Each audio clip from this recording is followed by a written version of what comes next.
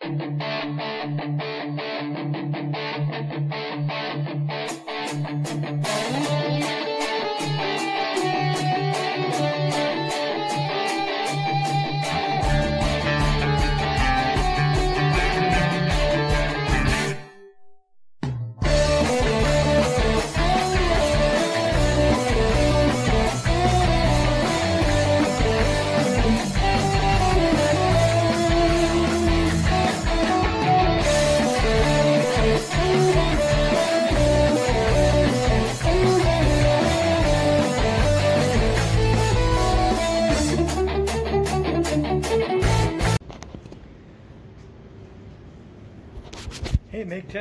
MGTOWs, this is Vention. Oops, pardon this thing.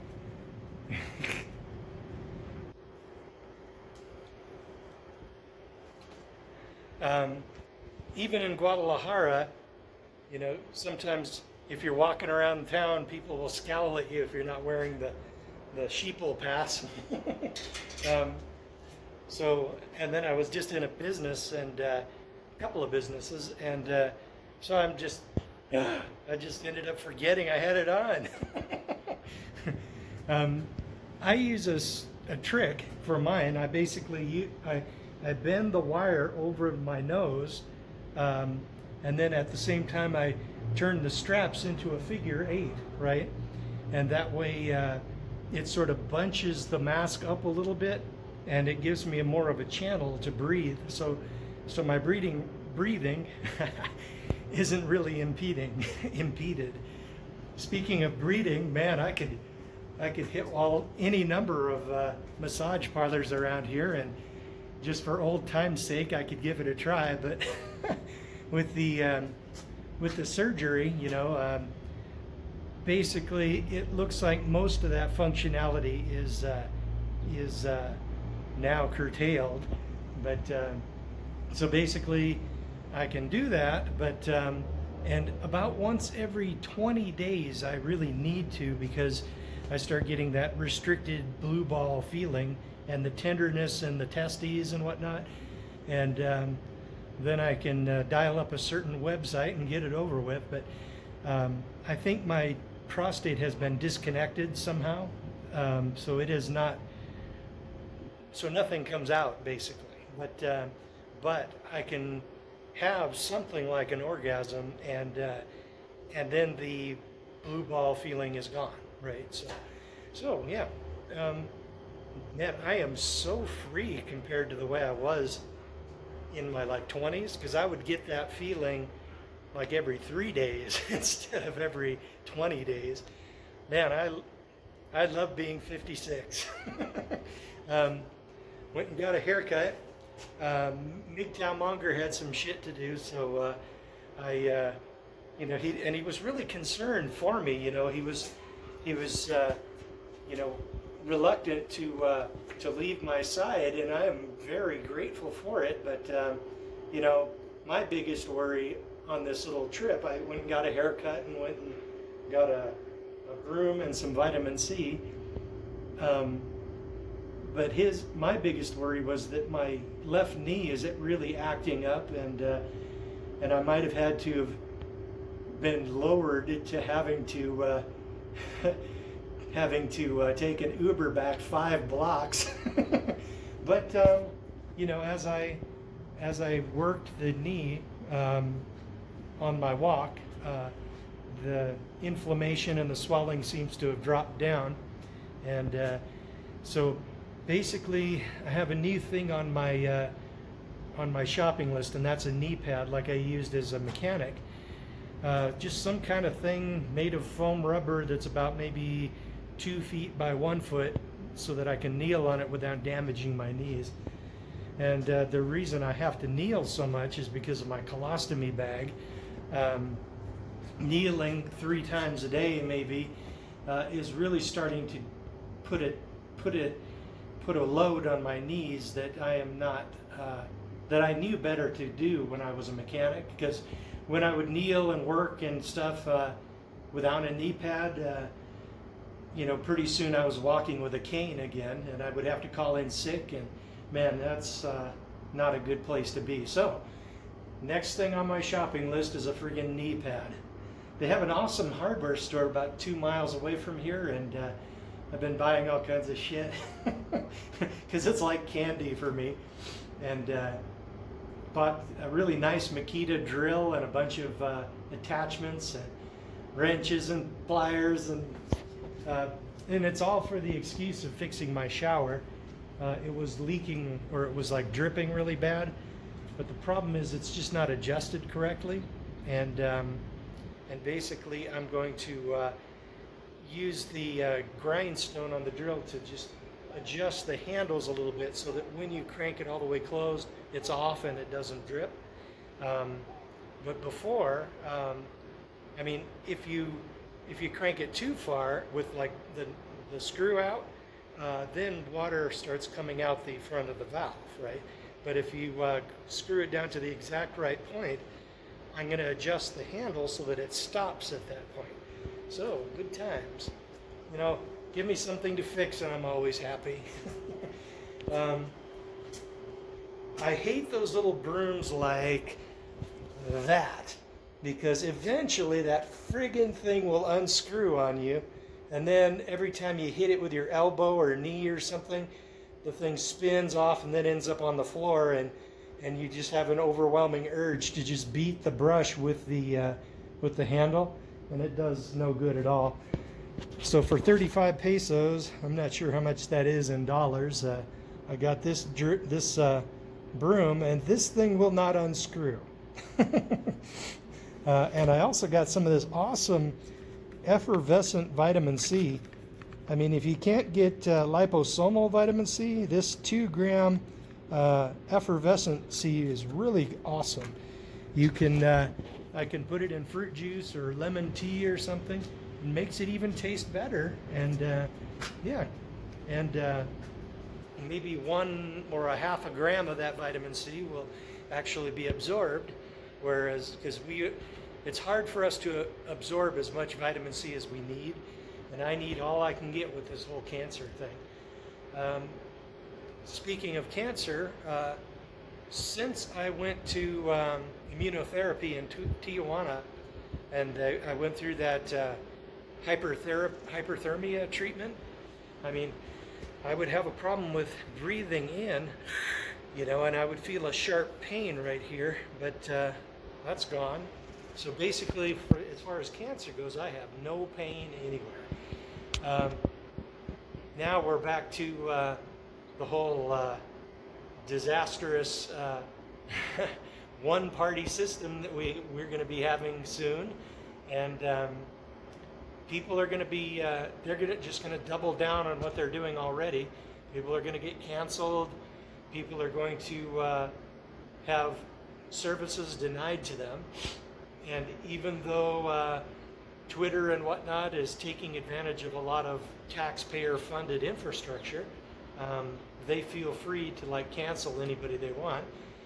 So I don't even use Twitter. I use it as a sign in so that I can use my Tippin.me website account so I can sign in because that's the only way you can do it.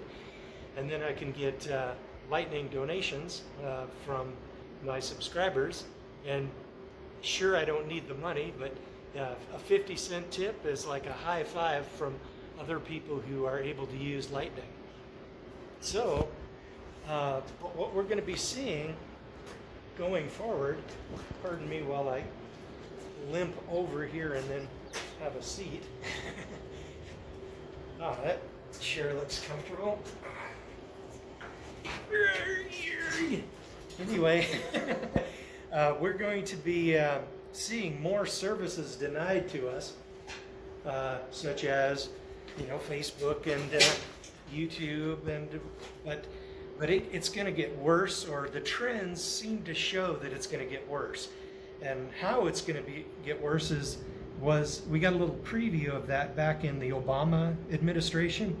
Uh, he had um, he had an office in his you know in his infrastructure, part of his uh, part of his, well, I don't know what you would call it, but it was a, it was an office, and they called, they ran a program out of it called Operation Choke Point, and what that was was um, if if the people in the office didn't like what you were doing, you know, something, if you were running a business they didn't like, uh, or uh, they just didn't like you, period, they would uh, call the banks or notify the banks that you are persona non grata, and then the bank, the banks would uh, would basically cancel you. They would cancel your checking accounts and credit card accounts and whatnot, and then you would um, then they would like be struggling to try to find another bank, and most of them never could. Gun shop owners had a problem with that, big problem, and some of them had to close their doors because they couldn't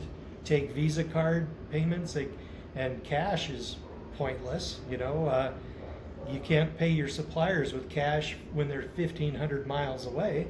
I mean, you can take cash to the bank and then uh, and then attempt to uh, get a cashier's check, and it's it's and assuming the bank would even serve get, provide service for you, they they uh, don't they don't have to. So, and some of them were relying on things like these uh, payday loan places to get cashier's checks, and and it um, and it was expensive, and it was a tremendous time sink, and some gun shop owners closed their doors. And I, I seem to remember one lady who was a porn actress, like uh, back in the 70s, and they canceled her too for some reason. Um, so we, I suspect, are going to I see the trend, you know, just as like the trend, like the trends video I made a few months ago, um, where, I mean, I see things coming and then I take action to try to prepare for it to uh, and avoid the problem. Uh, one thing I did was, of course, getting bitcoins, and another thing I did was, um, you know, getting a passport. And I'm, I'm here in Mexico, and supposedly this city is locked down, but man, I can go anywhere and uh, walk into any business. The only thing I need is that mask. So I just put the mask on and walk in. Weird. So, um, so basically, if I if my checking account were can't were were like denied to me, and uh, and as I suspect things like that are going to be happening, uh, there are services where you can do online bill paying with uh, Bitcoin, and they're like decentralized uh, exchanges where you can where you can do some trading, you can do some uh, some payments like that. I have I'm not sure about uh, um, I'm not sure exactly, but I know that in the website called Paxful, you can uh, you can basically have somebody pay your electric bill and then you pay them with Bitcoin, and then if they have a good rep, reputation, you know, you don't want to trust anybody with this, or or they might be attempted to reverse the payment once they got your bitcoins, because bitcoins are irreversible. So what you what happens is you put it into escrow. Um, in on the website, and then once your bill is paid, uh, you then release the escrow and then give the person a good review, and he does the same for you, and it's great. And then, so basically, what I think I might do to prepare for getting depersoned or unpersoned by uh, the banking system and things like that is I think I'm going to um, see about making a Paxful account and then uh, see if I can. Uh, you know, explore it and attempt to uh, attempt to uh, see what it has to offer. Because I've only heard of these services, and I've been a little bit distracted by, for obvious reasons, so I haven't actually uh, uh done much in that direction. But but I'll tell you, I've got uh, I've got bitcoins, and the time will come when I will be able to. Um, for example, if I if I go to to do the permaculture mechanic thing, um, and I want to sort of settle in one place, I could hire all a lot of labor uh, using Lightning enabled bitcoins, and then they could just flip it through the Cash App to uh, drop it to their checking accounts. And that a lot of permaculture people are short on actual fiat cash, and uh, but they're very wealthy in physical strength and knowledge of permaculture. uh, they dwarf me in permaculture knowledge, and I could, I could conceivably, if I decide to settle someplace, I could hire like ten people to work on my shelter while I'm limping around, uh, attempting to help, and then uh, they could build my rocket mass heater and everything, and then by the time the snow flies, I would have a comfortable place off grid, and um, and you know, depending on how bad things get in the main stream, I could conceivably pretty much drop out of sight, you know, um, and hardly even be noticed. You know, I could, I could, uh, I could pay people when they're going to go a, do a grocery run, give them uh, a grocery list and reimburse them with lightning. You know, I could, I could practically drop out of except for like my driver's license and insurance and stuff like that, I could practically drop off the grid. And then uh, my expenses would be so low that it would be below 38,000 a year. Uh, so I wouldn't even be, so the cat, what I cash in for Bitcoin, as long as it's below that, unless they change the law, um, my basic, my income tax bill would be zero uh, depending on what state I am. Some states have state income tax, but if I stay in uh, my current state, Washington, um, I have no state income tax. So, yeah, it may be a weird lefty state, but you know, there's some good things about it too, like uh, like um, concealed pistol are easy, licenses are easy to get, and uh, silver and gold are considered money and if you go to a coin shop, you'll pay their markup or their markdown, and um, but you don't have to pay st- state sales tax on it. So uh, so basically, I can buy and sell silver um, for just the markup that the store charges. And I have a excellent little coin shop that I like to go to.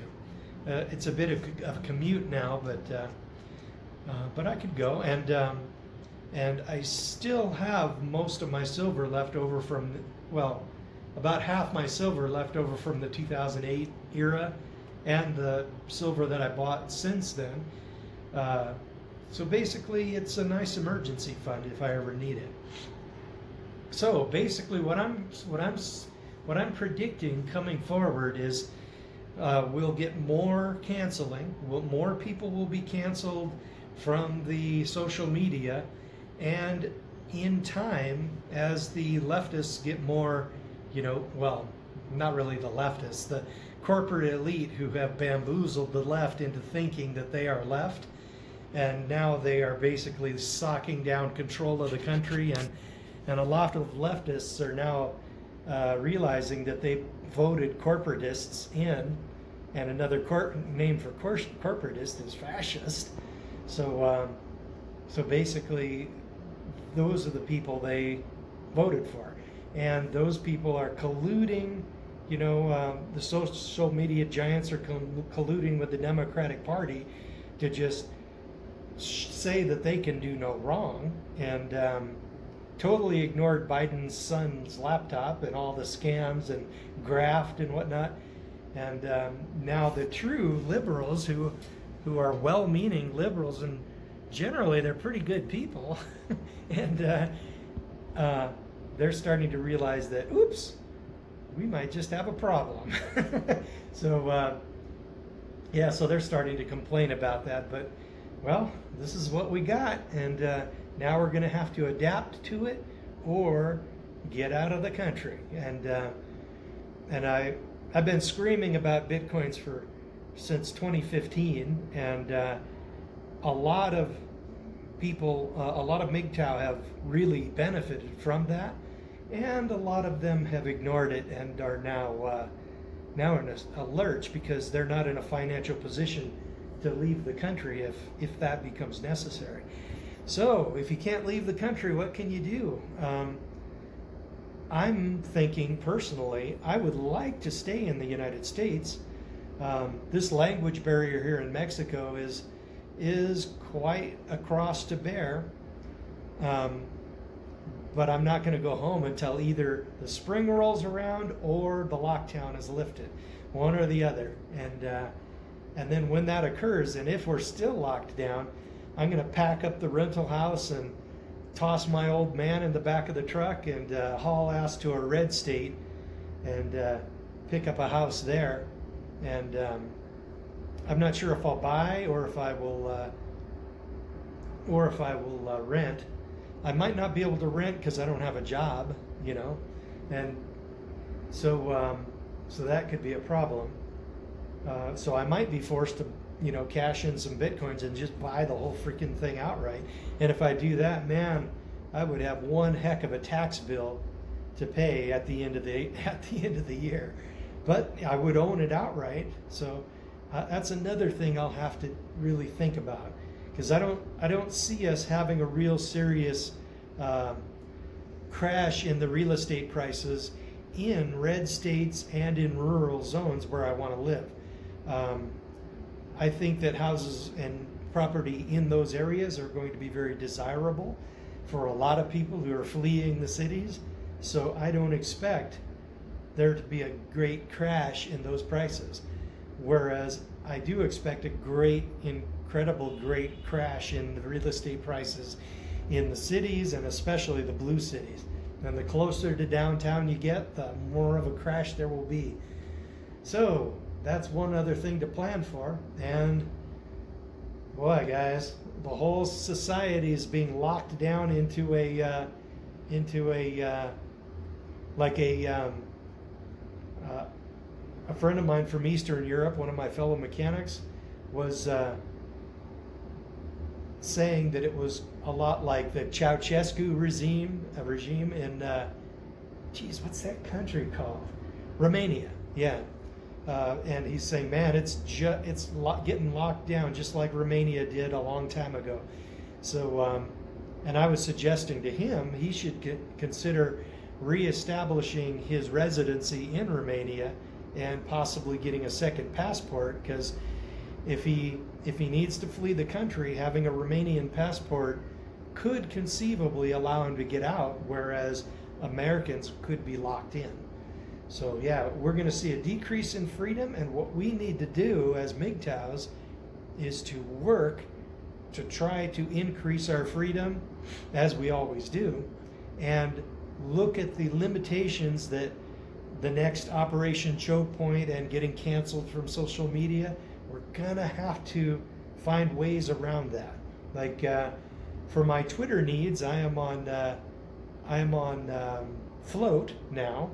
Now that they have banned uh, or canceled uh, uh, Parler, and I wasn't even terribly up on Parler, or, but I did have an account there, and I did follow a bunch of people. But now that's canceled. But Flote seems is supposedly a blockchain operated thing, much like LBRY. So um, so basically, it has a less, a lower chance of getting um, deleted.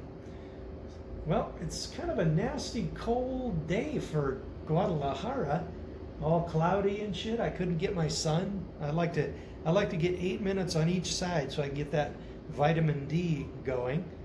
And uh, so I just took my vitamin D supplements after, during breakfast, and uh, well, fingers crossed. Um, uh, that's about all about it. I'm going to uh, probably research Paxful and fart around on the internet and just, man, I am so enjoying just having a, such a low stress life here. Um, the only, the biggest hurdle here is the uh, is the uh, language barrier and my left knee now. Um, but um, I'm working on it. Estoy aprendiendo, which means I am learning. Uh, so I, I, spend like at least an hour a day studying Spanish, and it's slow going at 56 years old.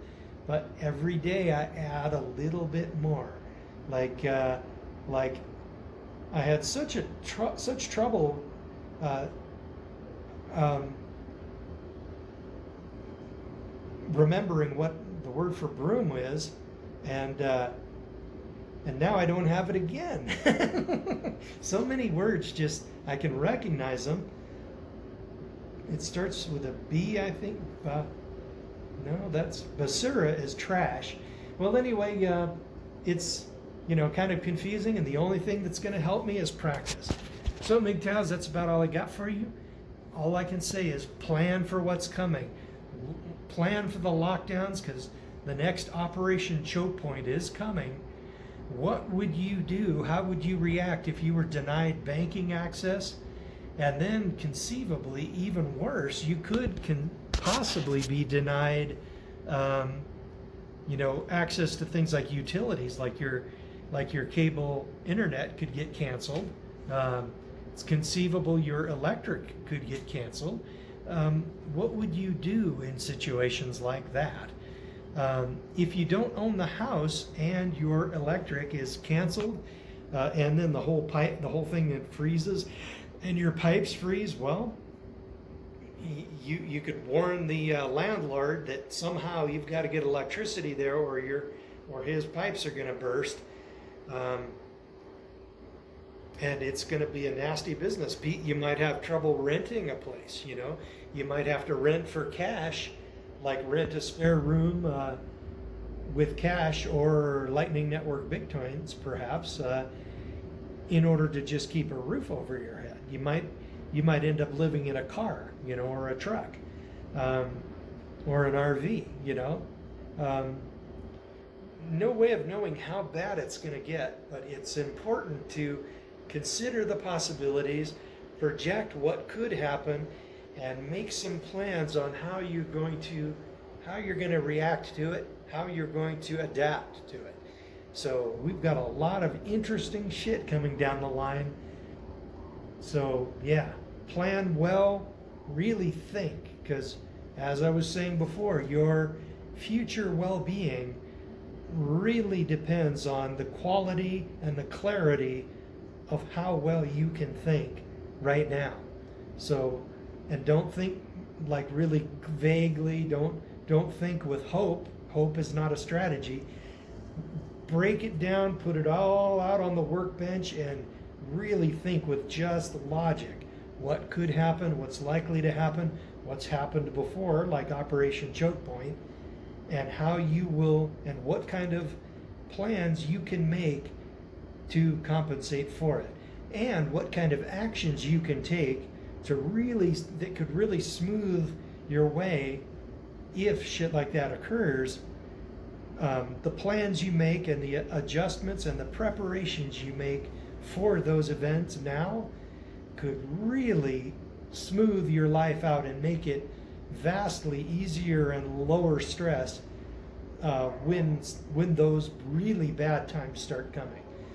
And um, this leftist, corporatist government will go as long as it can, and it will go as long as it has other people's money to spend. And when that money runs out, um, the leftists will freak and they'll start saying you're selfish and you're hiding money and then we could have like something even as bad as gulags. Uh, supposedly PBS has a leftist uh, who's high up in the in their chain of command who's saying that children of Trump supporters need to be taken away from their parents and then put into re-education centers so that uh, the the orange man uh, um, uh, you know, the orange man will not uh, be in their thoughts in the future. That is like serious, serious Ceausescu, uh, Romania Nazi BS. Uh, total Stalin crazy insanity. So yeah, it's uh, it's important to really plan for these these things and if things get that bad, man, I don't know if I'll even be in the country. And one thing's for sure, as a MGTOW, they don't have any hostages that they can really use against me, like, like stealing my children. So, um, so that's one thing I, one vulnerability I don't have because I'm a MGTOW. Um, but man, think about things. Clarity of thought. Really project what's going to be happening really think about what's happening and uh, don't get married.